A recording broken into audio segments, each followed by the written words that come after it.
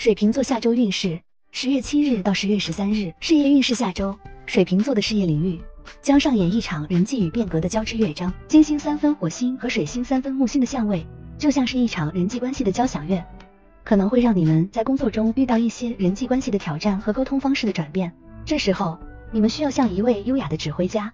处理好与同事和合作伙伴之间的关系，保持冷静和理性，避免冲突和误解，确保事业的乐章和谐美妙。而木星逆行则像是一场突如其来的风暴，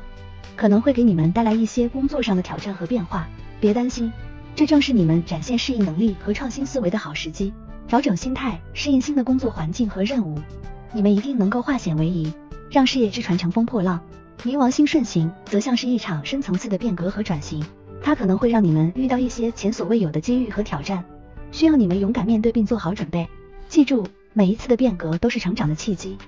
只要你们敢于拥抱变化，就一定能够开创出更加辉煌的事业篇章。财运状况，在财运方面，下周可是水瓶座朋友们需要格外小心的一周哦。金星三分火星，可能会让你们在财务上燃起一些激情和冲动，就像是一场突如其来的购物狂欢。但是别忘了理性消费，避免过度消费和投资，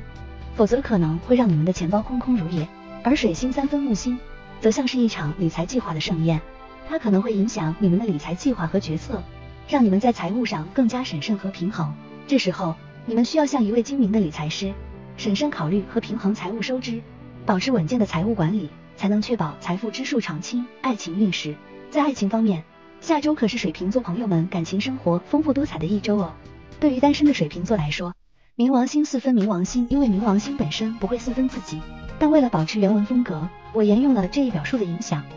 可能会让你们遇到一些意想不到的感情变化和发展，就像是一场突如其来的浪漫邂逅，让你们心跳加速，充满期待。而对于恋爱中的水瓶座来说，下周则需要注意与伴侣之间的沟通和理解，共同处理感情中的问题和挑战，保持信任和包容，就像是一对默契十足的舞伴，在爱情的舞台上翩翩起舞，共同演绎出浪漫而动人的篇章。健康运势，在健康方面，下周的天象可能会对水瓶座的身心健康带来一些压力和挑战。就像是一场没有硝烟的战争，需要你们保持警惕和应对。这时候调节情绪，保持身心平衡就显得尤为重要了。尤其是在木星逆行和冥王星顺行的影响下，你们需要更加重视自身的健康状况，保持良好的生活习惯和定期的运动，就像是为身体充电一样，让你们充满活力和能量。同时也别忘了放松身心，享受一些宁静的时光，让心灵得到充分的滋养和放松。